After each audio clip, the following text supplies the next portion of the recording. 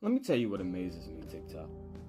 It is hundreds of videos of other people capturing the moon over there while the sun's being eclipsed over there. You have videos that people have caught the plane flying directly across its spraying. You have other videos where people can see lasers.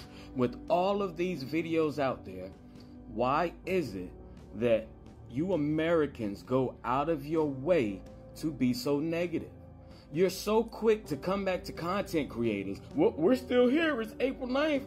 Nobody said you was going to die yesterday, people.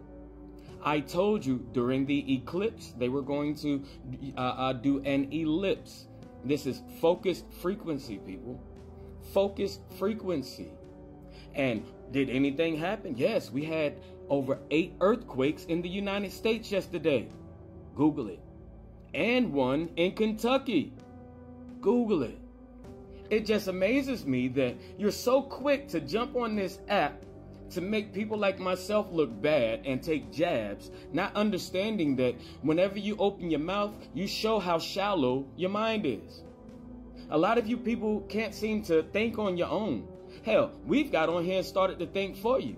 And whenever we try to get your mind away from what the government is doing to you and the bullshit that they've taught you, you go out of your way to make us look as if we're bad and still follow what the government's doing. You know, it's kind of like whenever they gave you the stimulus money because you needed it, and then they took it back, and you still kept your faith in them.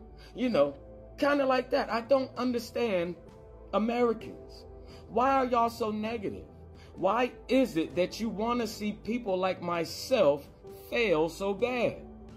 This is why America will never, ever be able to come together. You all are selfish, shallow minded, and you have the competence of a five year old. Honestly, I'd say an eight year old. Five year olds still have genius in them because they haven't made it to school yet. But I just don't get it.